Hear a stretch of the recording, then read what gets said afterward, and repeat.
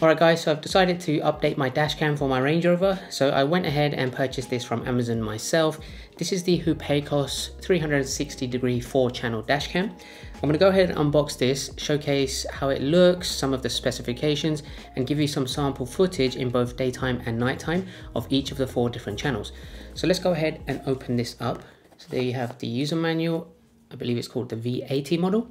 This actually comes in at 250 pounds there was a 50 pound voucher so I got it for 200 pounds. So check out the link in the description if you want to find out more information and maybe take a look at purchasing it yourself.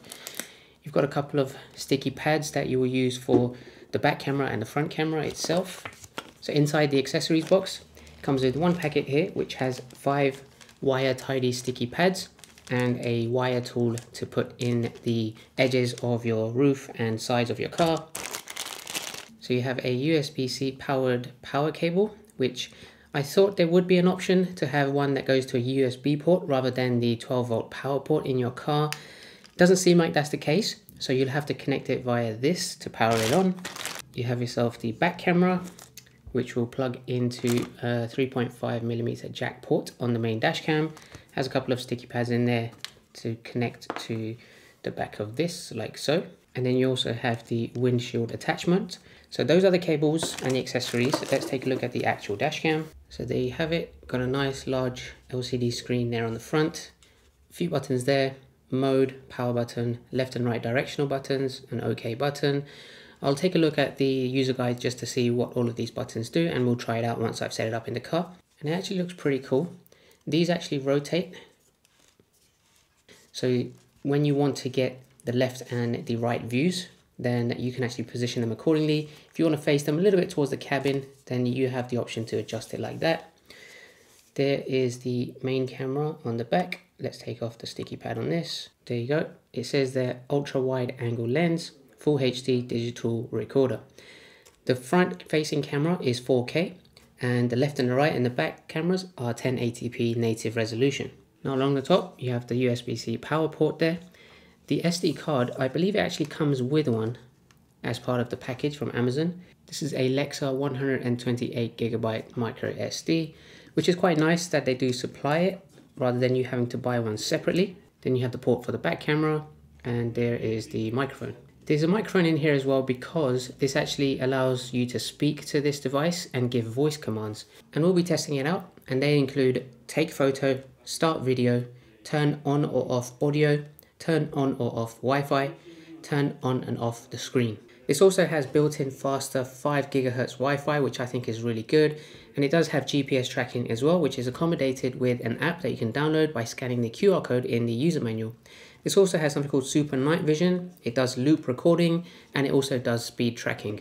Those are the key highlights and specifications. So pretty standard. We're going to try out everything. I'm not hardwiring this to my car itself to give 24-7 parking monitoring or anything like that.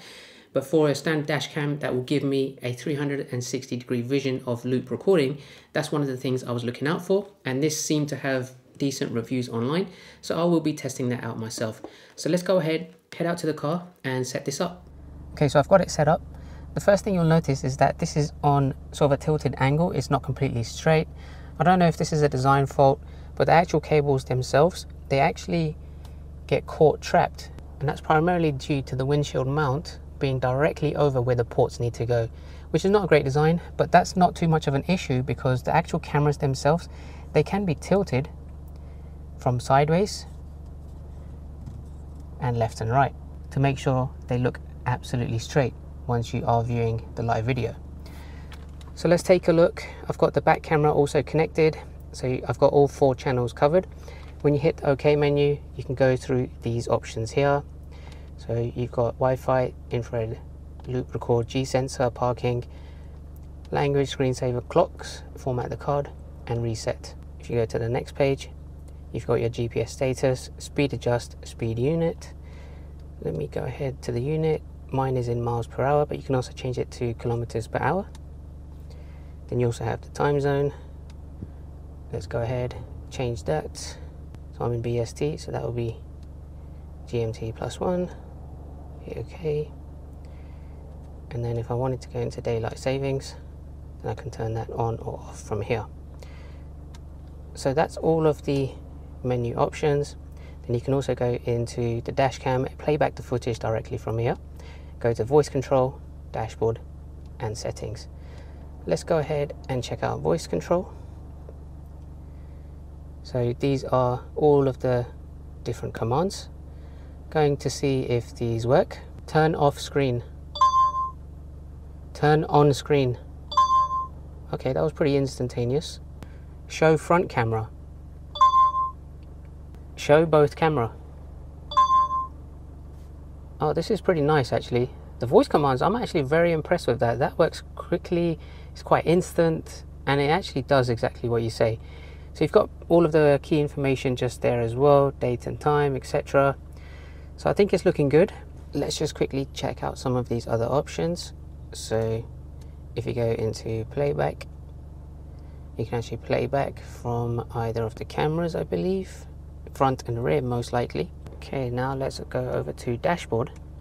And this is actually quite nice. It gives you a little speedometer there and a little animation with your miles per hour as you're driving. So you can actually just leave it on this dashboard rather than seeing any live view, which I think is quite nice. So left, right, front, back, I think is pretty nice.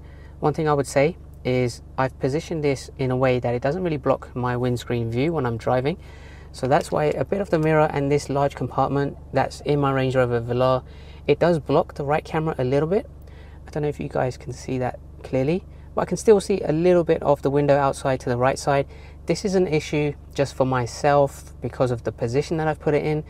But just note that when you do reposition this, it is actually quite bulky and it may block and obstruct a little bit of the view on the road ahead of you.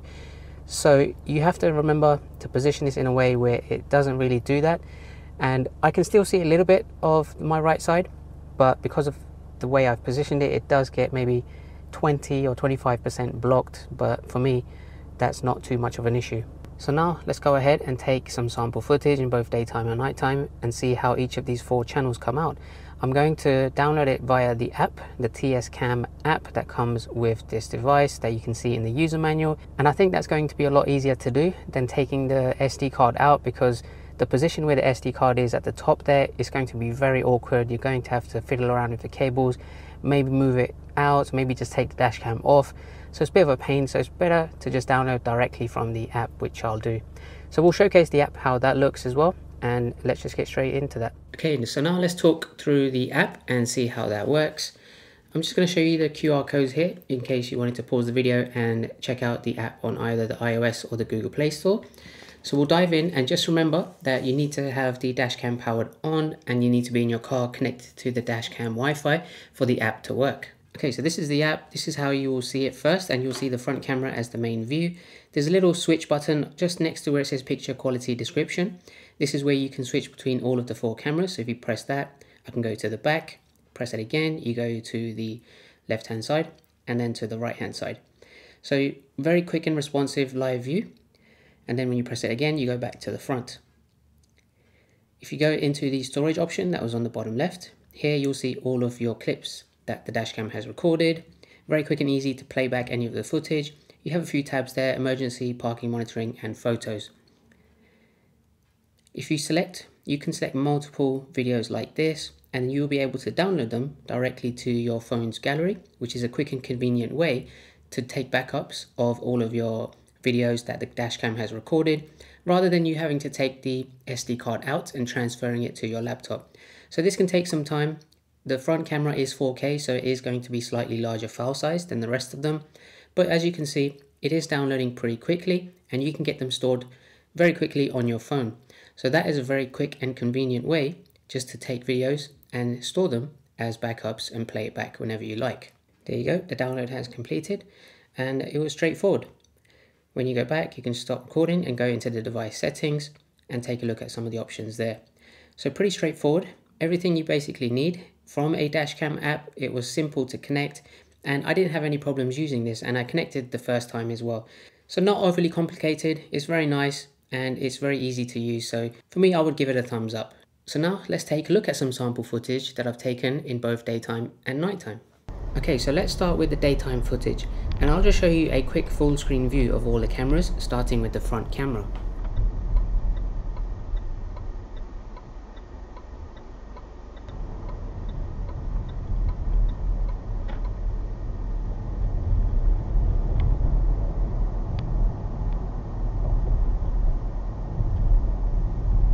So here's all of them side by side and actually you can see the biggest difference in quality with the front 4K camera than all the others. It is really clear and you can read the road signs and more importantly the license plates very clearly. The left camera has good visibility out of the window and although my setup for the right camera is partially obstructed, it still looks good. Back camera seems like the lowest quality, but any car right behind me, the license plates are still easily readable. So let's see how the audio quality comes out with the internal mic on the dash cam. This is how the audio appears. So I'm just talking normally in the car and testing out the microphone from this dash cam. So hopefully you guys can hear me quite clearly. It's pretty quiet, it's not so great, so if you're having a conversation with someone out of your window, I don't think you'd be able to hear the person on the outside at all. So moving on to night recordings, and again, starting with a quick full screen cycle through all four channels. Now you'll notice the left and right camera here are on infrared night mode, but we'll talk about that in a second. The back camera, however, is quite grainy and I think it might even be 720p, let alone 1080. Okay, so talking about the difference in night mode quality for each of these channels, the front is still clear, but my sharp LED lights reflecting on other license plates makes it hard to read those license plates, but that would be the case with any dashcam to be honest. But the roads and the buildings are very clear, so can't fault on the front camera's quality overall. The left and right cameras, you'll notice they switch between infrared night mode and color night vision intermittently. This is because when I drive through dark areas, there isn't much light sources for the dashcam to capture to be able to accurately get color vision. So it switches to infrared mode, which I think is actually quite good because it then tries to maintain visible scenes throughout your entire ride. So what that means is that just in case you do have an accident, it will have some form of clarity on how those events unfolded. And finally, the back camera maintains color vision throughout, but due to poor lighting, reflections, and maybe due to the demister lines on my rear windscreen, the quality isn't great at night, but I would say it's manageable.